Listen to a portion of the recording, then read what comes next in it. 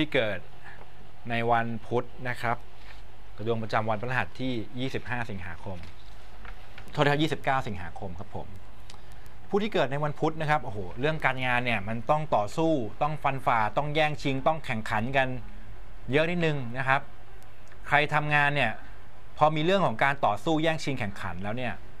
มันมีโอกาสไปทะเลาะกันได้ เช่น คนใกล้ตัวเพื่อนร่วมงานทีมงานนะครับ ในแผนก ในองค์กรในร้านเงี้ยมันมีโอกาสทะเลาะกันได้เลยนะครับ แบบทำไม่ทันใจเราหรือเราทำไม่ทันใจเขาเนี่ย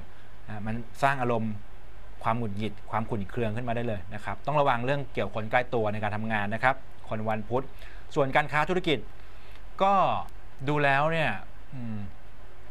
มีอุปสรรคเช่นเดียวกัน ไม่ค่อยราบรื่นนะครับ เช่นไปเจรจาตกลงกับลูกค้านะครับ ไปเจรจาตกลงกับคู่ค้าเพื่อนหุ้นส่วนอะไรเงี้ยนะครับ มันอาจจะมี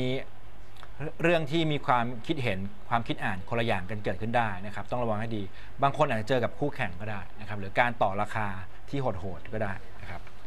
เรื่องของการเงินอยู่ในเกณฑ์ที่ใช้ได้เลยนะ คนวันพุธเนี่ยสภาพคล่องนะครับทักษะไหวพริบปฏิภาณในการเจรจาตกลงเรื่องเงินทองในการหาเงินเนี่ยโดดเด่นมาก วันนี้จะไปคุยนะครับ เรื่องเงินทองเจรจาต่อรองเรื่องผลประโยชน์การเงินราบรื่นหมดนะครับ แม้กระทั่งแบบ ไปขายของไปตามเก็บเงินอะไรเงี้ยได้เช่นเดียวกันนะครับดีมากเสียงโชคเสียงดวงก็มีนะ คนวันพุธอยากจะเสียงโชคเสียงดวงได้เลยนะครับเลขนำโชคก็จะเป็นพวกเลขห้องเลขบ้านอะไรพวกเนี้ยนะครับ ความรักนะครับ ความรักคนที่ยังโสดอยู่ก็ให้ข้ามไปก่อนเหมือนกันนะครับ ยังไม่ใช่จังหวะยังไม่ใช่โอกาส แล้วก็ยังไม่ต้องคิดถึงอดีต ไม่ต้องคิดถึงสิ่งที่ผ่านมาแล้วด้วยทำให้เราผิดหวังเสียใจ หรือว่าทำให้จิตใจมันตกต่ำได้ กับคนโสดนะครับบางคนคิดแล้วแบบไม่เป็นอันทำงานอะนะครับ ไม่มีสมาธิเลยคิดถึงแฟนเก่าคิดถึงอะไรอย่างเงี้ยนะฮะถ้าเกิดคนที่มีคู่มีแฟนแล้วความรักความสัมพันธ์เนี่ยก็ยังไม่ค่อยดีหนึ่งในเรื่องของเวลาก่อนนะ อาจจะยัง